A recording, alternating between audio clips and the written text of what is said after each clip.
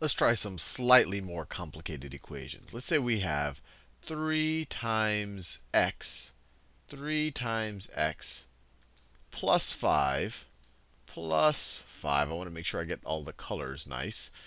Plus 5 is equal to is equal to is equal to 17 is equal to 17. So what's different about this than what we saw in the last video is all of a sudden now we have this plus 5.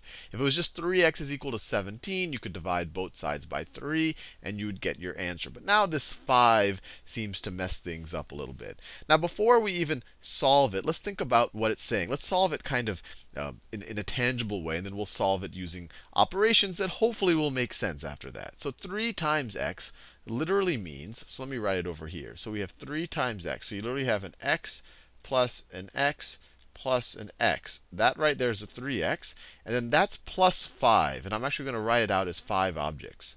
So plus 1, 2, 3, 4, 5.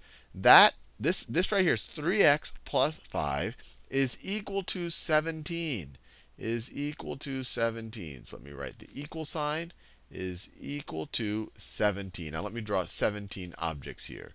So 1, 2, 3, 4, 5, 6, 7, 8, 9, 10, 11, 12, 13, 14, 15, 16, 17. Now, these two things are equal. So anything you do to this side, you'd have to do to that side. If we were to get rid of one object here, you'd want to get rid of one object there in order for the equality to still be true. Now, what can we do to both sides of this equation so we can get it in the form that we're used to, where we only have a 3x on the left-hand side, where we don't have this 5? Well, ideally, we would just get rid of these five objects here you would literally get rid of these five objects. One, two, three, four, five. But like I said, if the original thing was equal to the original thing on the right, if we get rid of five objects from the left-hand side, we have to get rid of five objects from the right-hand side. So we have to do it here too. One, two, three, four, five. Now, what is a symbolic way of representing taking away five things? Well, you're subtracting 5 from both sides of this equation.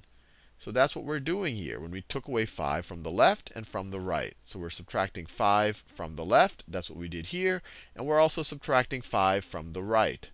Do that right over there. Now, what does the left-hand side of the equation now become? The left-hand side, you have 5 minus 5. These cancel out. You're just left with the 3x.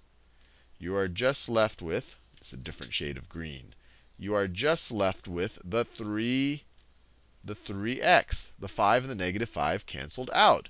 And you see that here. When you got rid of these 5 objects, we were just left with the 3x's. This right here is the 3x. And the whole reason why we subtracted 5 is because we wanted this 5 to go away. Now, what does the right-hand side of the equation look like?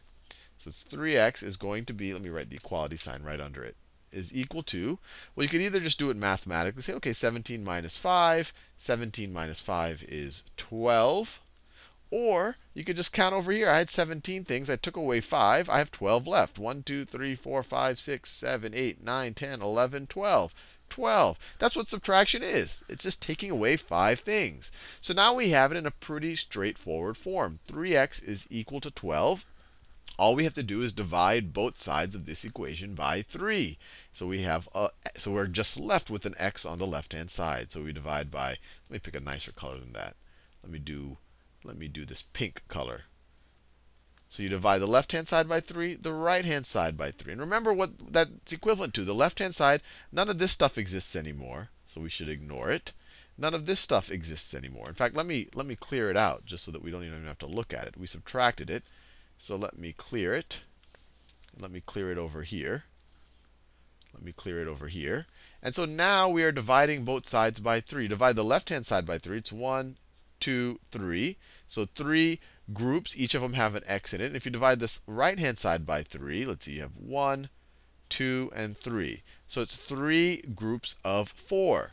So when you do it mathematically here, the 3's cancel out. 3 times something divided by 3 is just the something. So you're left with x is equal to, and then 12 divided by 3 is 4.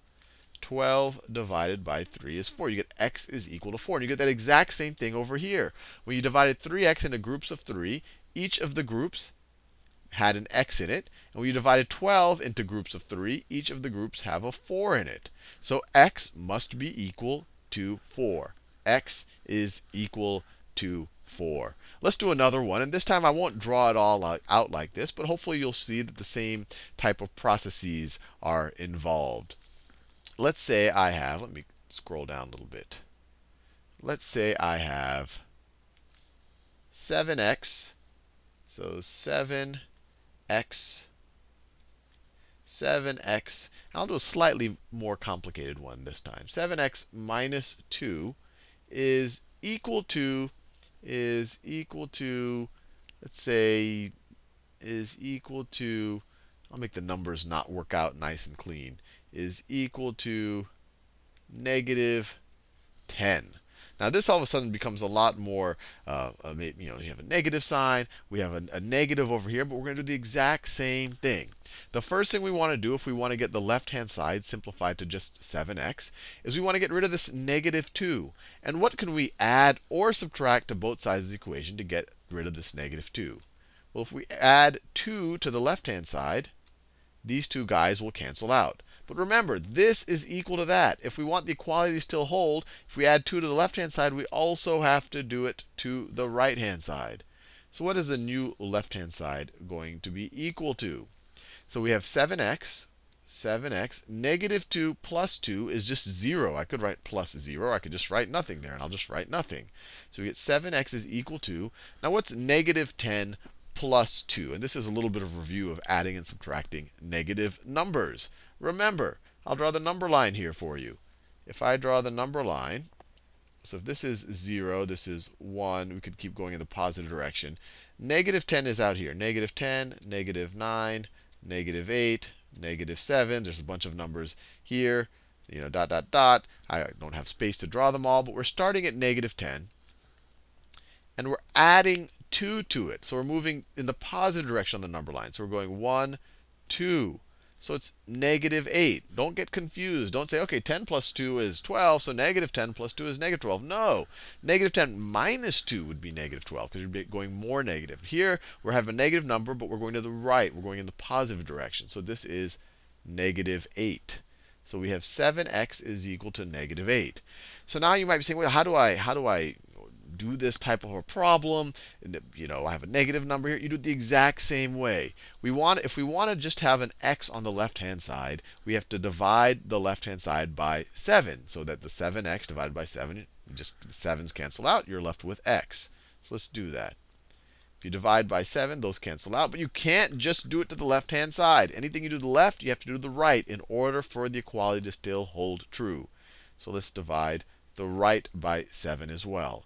And we are left with just an x. Just an x is equal to negative 8 divided by 7. We could work it out. It'll be some type of a decimal if you were to use a calculator. Or you could just leave it in fraction form. Negative 8 divided by 7 is negative 8 sevenths. Negative 8 sevenths, or if you want to write it as a mixed number, x is equal to 7 goes into 8 one time and has a remainder of 1. So it's negative 1 and 1 seventh. Either one would be acceptable.